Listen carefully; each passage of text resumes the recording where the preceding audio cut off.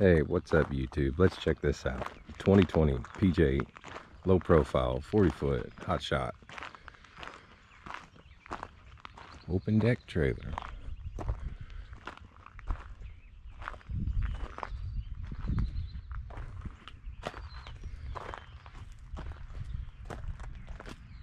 Single speed jacks.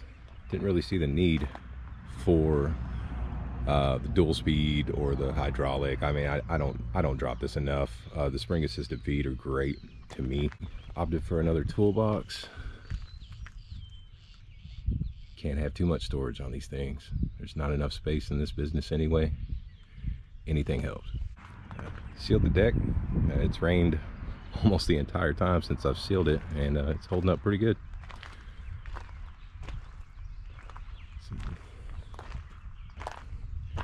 10K axles.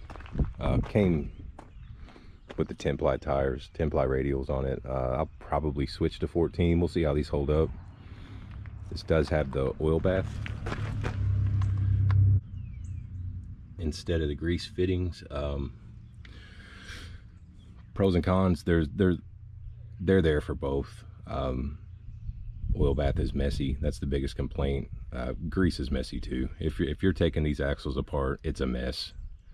Um, you'll definitely find a leak or a, or a, problem area with an oil bath way sooner than grease.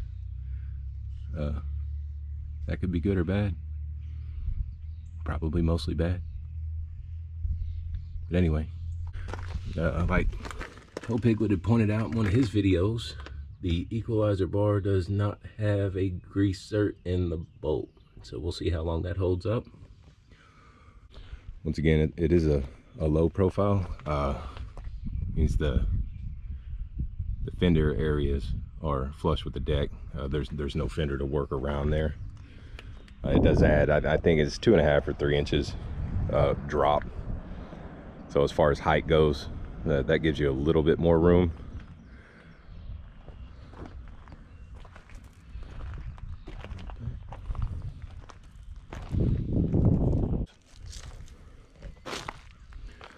Now, I did opt for the uh, pull-out ramps, the eight-foot pull-out ramps. Um, there's a reason I did that. I, I didn't want to dovetail. I don't want monster ramps. Um, I don't haul enough vehicles to really need those. Um, this isn't a single purpose trailer. Uh, this is, of course, for work, general freight, mostly. Um, when you have a dovetail, or the monster ramps that that area of deck space is pretty much uh, you can count it out. Uh, there's there's a lot of shippers that won't load on it. Uh, they don't consider it permanent. Um, as far as hauling vehicles and stuff too I mean if you did have a full load you would need space here because when you drive something on here with those ramps of course you have to pull it past it to fold the ramps up pull it back. So you're you're always going to be you're not you can't you can't utilize the entire deck. Uh, this does have the sliding rail system. Uh, there's two winches in the back section one permanent welded between the axles and seven up front. For a total of 10 that's uh, one winch per four feet of deck space does have a full full regular spare uh, same wheel color as the rest too. I mean, it's it's pretty handy because when you do have to change a flat, you don't have to worry about riding on a spare or replacement wheel or smaller tire or anything like that as far as a car goes. I mean, this is this is legit. You just take the old one off, throw it in its place, get it fixed when you can. Uh, it's no rush though, so that's nice. Um, here's another thing. I haven't seen a lot of people talk about uh, the test box up here uh, for your automatic disconnect brake engagement. The DOT loves to test these to make sure that it's charged. I do have this as far as the PJ ads and everything go. It always shows them taking this out to connect uh, wrapping it through the loop. Um, that's not necessary. I mean, if, if this doesn't seat all the way or you accidentally leave this out and forget about it, um, it could actually smoke that battery box up there. It's applying full voltage to the brakes to keep them locked when it is disconnected and uh, that's, that's a good way for it to become unusable. Uh, the easiest thing to do is buy a carabiner for it and snap it in. It's a cheap fix. That's not even a dollar. Um, pretty easy as far as the lock goes I have a Blaylock gooseneck lock. Uh, it's probably not the most permanent thing but it's definitely a deterrent. I don't think any lock is really unbeatable uh, but it's, you definitely can't hook and go.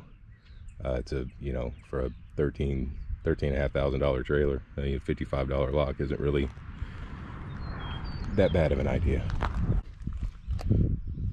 one thing I will mention about this trailer is the grease zerks on the landing gear uh, this is the first one I tried to top off and it came completely out very thin uh, barely in there it's it's uh it's it's pretty I'm not not very impressed with these. I mean, as far as a grease zerk goes, I mean, it, it, it's relatively simple to just have one that, that threads in.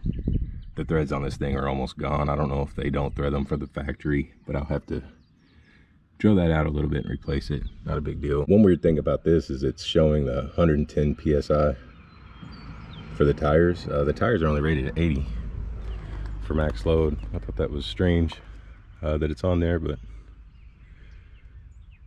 anyway so that's it guys 40 foot hot shot low profile gooseneck 10k axles tandem slide out ramps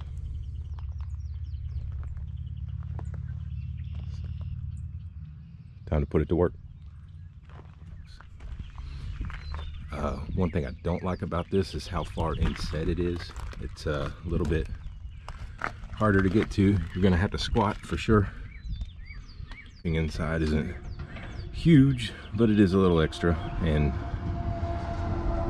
anything for a hotshot setup, uh, the more space you can get, the better.